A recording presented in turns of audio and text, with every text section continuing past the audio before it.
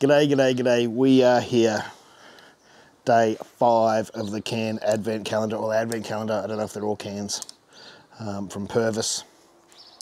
They didn't sponsor this, by the way. I, I, the wife got it for me. So it's good in a way. I can be as honest uh, as always. If I can get this number five off. Hang on. I can't get it off. Edge Brewing Project. Native Leaf Strawberry Gum Saison. Saison.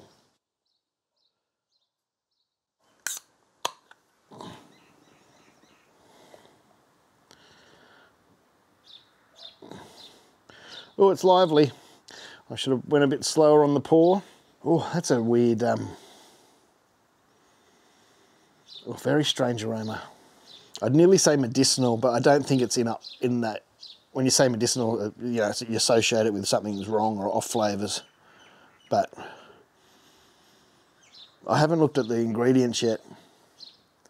But if they say gum, and that looks like a, a, a uh, an Australian flower on the front from maybe a eucalyptus tree or something. Before I put my foot in it, let's have a read. Highlighting an unsung native ingredient backed by Farmhouse Funk, we present our first virtual beer festival collab. Here I am saying that none of these beers are going to be like this. Here is one. In collaboration with Denmark's charismatic cartoonist brewer, Beer Here of Bon. It didn't work the second time either. With Enigma hops uh, used for bitterness, the sessionable farmhouse ale is infused with strawberry gum leaves, native to the northern tablelands of New South Wales, which impart a berry aroma and light eucalyptus note. That's what I was getting. This enhances the fruity, spicy, and refreshing characteristic of this lively beer. Lively's right. But that's what I was getting when I said the medicinal. I was nearly going to say eucalyptus, but I just wanted to, to read the can before I put my foot in it. It's bizarre. It's not, it doesn't, it's not like, you know, it's not like you squeeze a eucalyptus leaf. It's not that sort of eucalyptus or, you know, eucalyptus oil.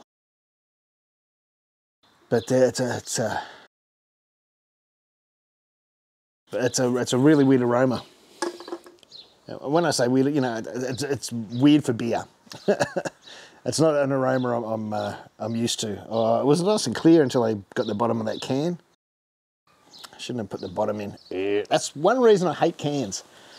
Because you, it's easier to get that sludge in. When you're pouring a bottle, you can see the, the yeast or the sludge in the bottom of the bottle get near the neck and you stop pouring. That's much harder in cans. It's a strange aroma. Well, I guess, you know, using uh, a eucalyptus tree or a gum, uh, a gum tree, uh, you don't expect it in beer, do you? Oh, it's bizarre. Again, I'm not sure I like it. G give me a chance if it had one sip, but...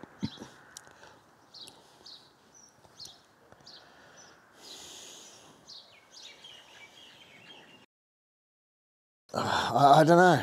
I don't know about this one. I was excited for it. Said it interesting, it poured fresh, it looked great until I put the yeast in.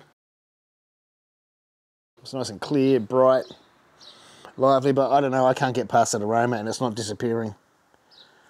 I thought it might have just been in the can, like some of the other beers I've had. Um, you know, you've had that, you get it strong in the can and then it sort of dissipates a bit. I'll give it a little bit of time. I might put it down and stop the video for a sec. Look, I don't think I can get past that smell. I really don't. It's I don't like it in beer. It's it is it's a medicinal. Um, it doesn't. I don't, I don't know. It's not for me. Oh, God, if I, if you could get rid of that, you know, again. No, I can't do it. I can't do this one. It's awful. I shouldn't say it's awful, but for me, that, that smell,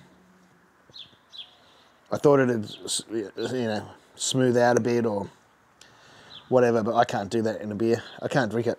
Like drinking like a really strong, um, you know, what do they call it? like a essential essence or whatever they are, essential oils type thing. No, that's not for me. Sorry, guys. That is a definite no. That's even lower than their first beer. Uh, Edge Brewing Project. Drink at your own risk. That is. I shouldn't. You should never diss. Well, I, I don't think it's it's my job to diss um, beers, but that, and I never do it live. But I've got to get through this calendar, and I've got to be totally honest. Drink at your own risk. I can't drink that. I got to tip that out. Cheers. I'll see you tomorrow. That's all. That's all.